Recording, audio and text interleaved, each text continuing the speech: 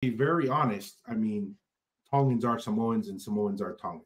Yes. Right? Yeah. We- we- the Tongan Empire was Polynesia. Polynesia. So yeah. well, I am by no means trying to be like, oh, Tongans are better than Samoans. No, we are all the same people. All we're trying to say is the capital was Tonga. That, that- Yes. That's all we're saying. And that, that that was the seat of power.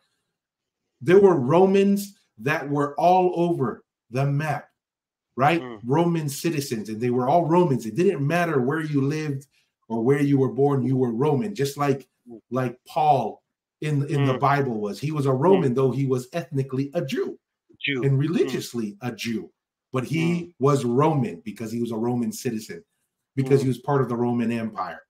Yeah. That's the same thing we're trying to say. Samoan, Tongan, yes. we'll get to the Fijians later, right? Yeah. Because that's kind of like a little gray area. Um, Yeah.